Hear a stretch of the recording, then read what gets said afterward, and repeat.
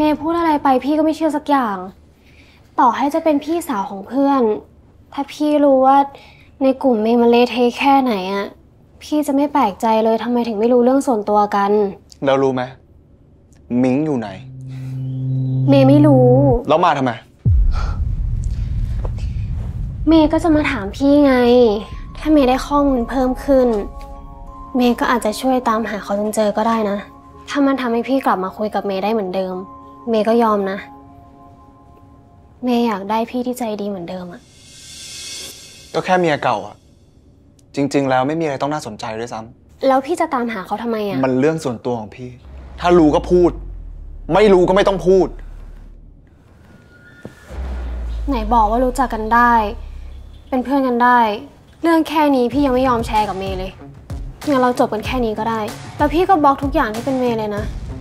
เมย์มันไม่สำคัญอยู่แล้วนี่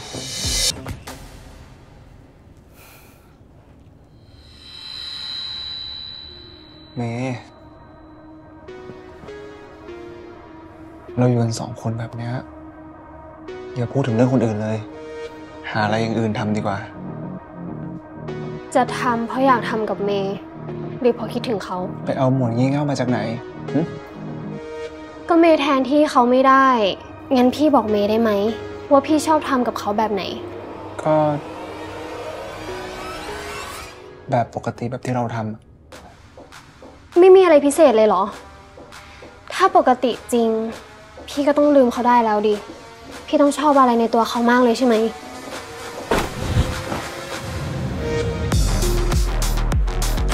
โอ๊ยเมย์ทำอะไรเนี่ย ไม่ชอบเหรอ ไม่ชอบ งั้นท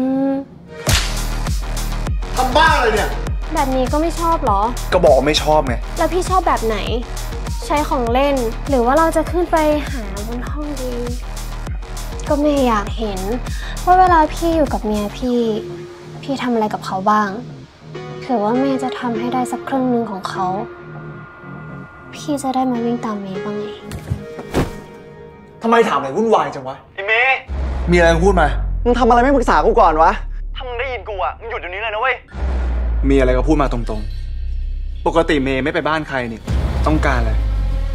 พูดมา เมย์ไอ้เมย์สุดท้ายเมย์ก็แทนที่เขาไม่ได้ทำอะไรก็ไม่ถูกใจพี่ซะทุกอย่างงั้นเมย์ขอกลับก่อน ส่วนที่เหลือ